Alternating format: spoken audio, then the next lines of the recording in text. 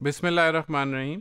तो we are doing introduction to risk management आज हम एक बात करेंगे, एक बेसिक और बड़ा actively use phenomena that is Sharpe ratio इसको शार्प रेशो भी कहते हैं शार्पी भी कहते हैं। Both sound good fine it's named after American economist William Sharpe the Sharpe ratio और शार्प इंडेक्स और modified Sharpe ratio is commonly used to gauge performance of an investment by adjusting its risk. कि basically हम देखना चाह रहे हैं on a risk adjusted basis return कैसे हैं? फॉर एग्जांपल मैं आपको कहूँ कि फ़र्स्ट लाइक आपका माइंड में एक क्वेश्चन बनाएँ कि दो पोर्टफोलियो मैनेजर हैं। एक ने रिटर्न कमाया 20 परसेंट और दूसरे ने रिटर्न कमाया 18 परसेंट। तो विच वन इज़ गुड तो मे बी विजिबली आपको शायद लग रहा है कि जी 20 वाला बेहतर है but I can say no the 18 one is good. How is that possible because जब हम बात करें 18 और 20 we are talking about absolute return we don't know the level of risk both the fund manager have taken हो सकता है 18 वाले ने जो रिस्क लिया है, वो बहुत कम लिया है कंपेयर टू जिसने 20 का रिस्क लिया है।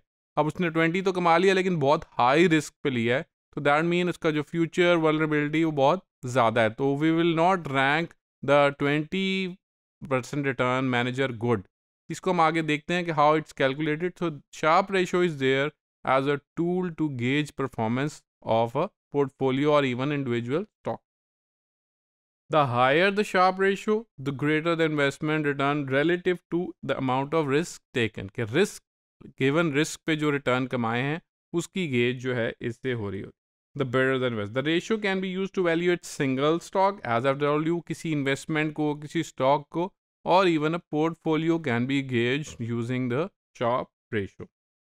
इसको calculate कैसे करेंगे We have a specific formula.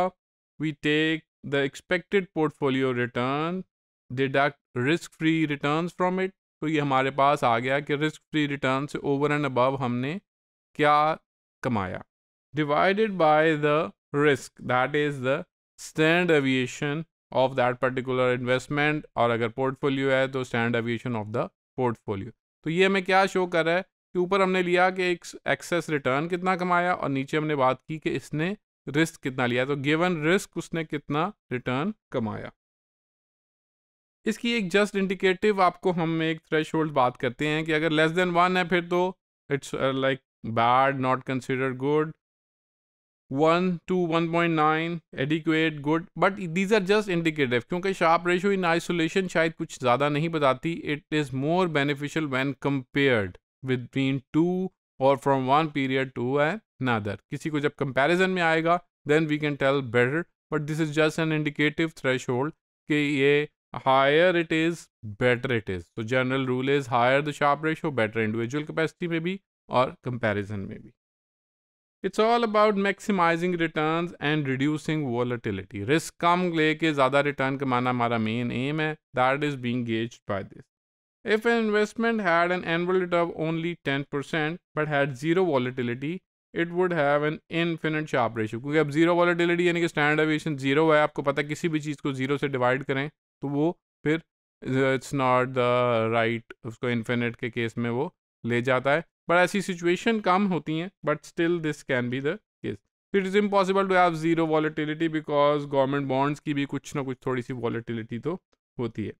As the volatility increase the expected return has to go up significantly we know the rule more risk more return तो हमें जब भी रिस्क ज़्यादा लेना है तो उसके साथ हमें कंपनसेटेड रिटर्न मिलना चाहिए. तो that is being gauge through this particular ratio The Sharpe ratio reveals the average investment returns minus the risk-free return divided by the standard deviation of the investment. तो वो ये हमारे उस पूरे साइकिल को लेके कि हमने कितना रिस्क लिया, कितने हमें उसके अगेंस्ट क्या रिटर्न कमाया, ये शार्प रेशो हमें गेज करके देती है ये अगर हम इसका पैटर्न देखें, अगर रिटर्न्स हमारे नहीं बढ़ रहे और सिर्फ़ स्टैंड एविएशन बढ़ रही है तो फिर वो शार्प रेशो को में एक मेजर डिक्लाइन नज़र आ जाएगा तो we have to see the situation जहाँ पे अगर हम रिस्क ज़्यादा ले रहे हैं तो return should increase such that कि शार्प रेशो हमारी बढ़नी चाहिए। तो अगर शार्प रेशो पे फॉल आ रहा है तो it's not a